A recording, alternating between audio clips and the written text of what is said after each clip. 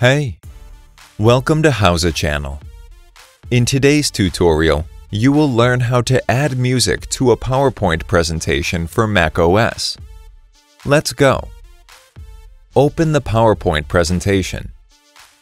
Go to the Insert tab. Click on Audio and choose Audio Browser.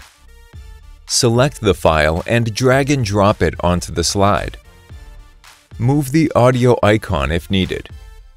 You can click on play and listen to it. Let's try another option. Go to the Insert tab. Click on Audio and choose Audio from File. Select the file and click Insert.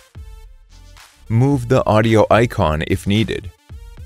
You can click on play and listen to it. You can regulate the volume too.